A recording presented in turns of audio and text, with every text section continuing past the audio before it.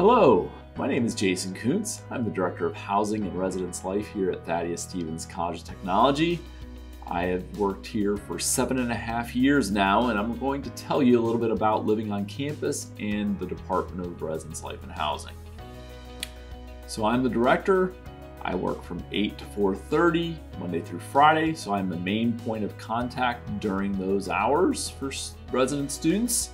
In the evening hours, my dorm directors slash residence hall advisors, which are professional staff members who do not live on campus, but they work in offices located in each of our residence halls. They would be the main point of contact from 4 p.m. to 1 a.m. Monday through Thursday, and then I also have weekend coverage as well. As far as our campus, we do not have a residency requirement here, unlike many other campuses. Our students are able to commute, they're able to live off campus if they'd like, or they can elect to live on campus as a resident students. Priority for being a resident, though, is given to students who qualify for our Stevens grant and are at a distance unable to commute. We have six residence halls on campus, one located at the Orange Street location, which is a very large facility, and then we have five smaller buildings that are located on our main campus. Approximately 55% of our resident students will live at the Orange Street location and 45% will live at our main campus location. We do try to house students based off where their major is located. That's our first priority. So if you are a graphic student at Orange Street, you will most likely be housed in Orange Street. If you are a cabinet making student whose major is located on main campus, you'd be most likely housed on main campus. For students whose majors are located at Greenfield or Greiner campuses, we will place you wherever we have the most amount of vacancies available. We do try to place students by majors as we feel those serve as learning communities Students can help each other because they're on the same schedule, and they can study with one another at, in the evening hours after class.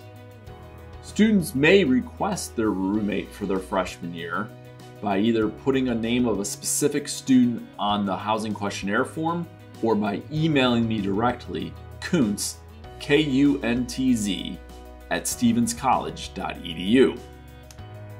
Please note that room requests must be reciprocal, meaning Devon must say he wants to live with John, and John must want must say he wants to live with Devon in order for that match to occur. If only Devon emails me, then there must be a reason John didn't email me, so I will not be housing those two students together. As far as our rooms go, Every room comes equipped with a bed, a mattress, a dresser, a desk, a desk chair, and a closet or wardrobe of some type. On main campus, the rooms, except for Brenner Hall, are all tiled floors, tiled hallways. Orange Street and Brenner have carpeted hallways and carpeted rooms. All bathrooms are common area bathrooms, meaning each floor shares a bathroom. There is no privatized individual bathrooms attached to any of our rooms. Microwaves are not permitted to be brought by students. We provide those in common areas for students to share. Students are permitted to bring their own refrigerator as long as it's under five cubic feet. All rooms also come equipped with a cable ready jack in the wall as well as internet and ethernet capabilities. Rooms also have fire suppression systems in them, meaning we have sprinklers and smoke detectors also in our rooms. All resident students are required to have a meal plan, meaning they can select either a five day plan, which consists, or a seven day plan. The five day plan consists of breakfast, lunch, and dinner Monday through Friday.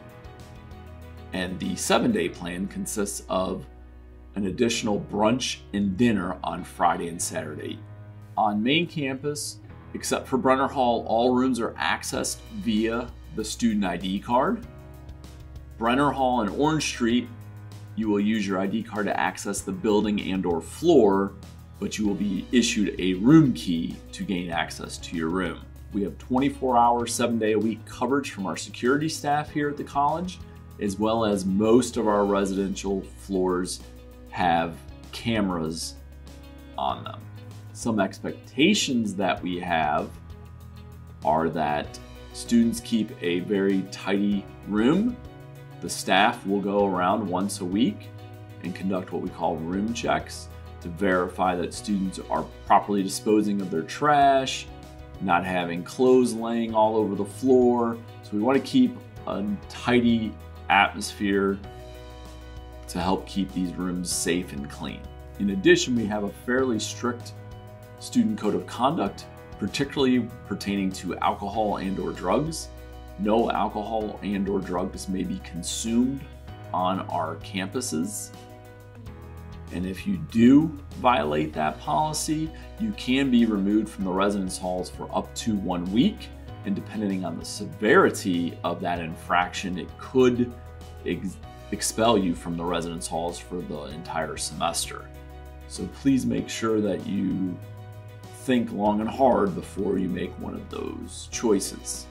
Some things we like to do for fun on campus is residence halls advisors will sponsor programs, either educational or social. We have a residence hall council that will meet once a month and they will plan events for the resident students as well as bring up student concerns or ideas for improving the campus environment. We have rec rooms as well in our residence halls so students can play pool, watch TV, maybe play some other games. We have some ping pong tables as well. And we have a student government association which oversees all the student organizations across campus that students can apply for funds to do programming more specific to their specific interests. So I hope this gives you a good snapshot of what it's like to be a resident student here at Thaddeus Stevens. And again, my name is Jason Kuntz. If you have questions or concerns, feel free to email me at kuntz at stevenscollege.edu. And I hope you have a great day and stay safe. Take care.